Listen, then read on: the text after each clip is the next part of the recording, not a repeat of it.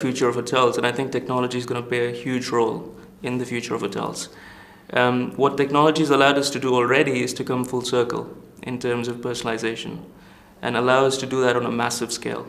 Grandes avances en minería de datos, robótica, nanotecnología están ocurriendo ahora, pero creo que lo importante es cómo colocar al invitado en el centro de esa experiencia. Experiencia. En el futuro probablemente no reservarás una habitación de hotel, sino una experiencia. भविष्य के hotel GM के लिए। उसे होटल में क्या हो रहा है कि एक स्नैपशॉट देखने और तत्परता प्रतिक्रिया को अभिलेख करने की क्षमता होनी चाहिए? तो एक नज़र में, जैसे कि माइनॉरिटी रिपोर्ट होटल में किसी भी समय पर क्या हो रहा है, देखें।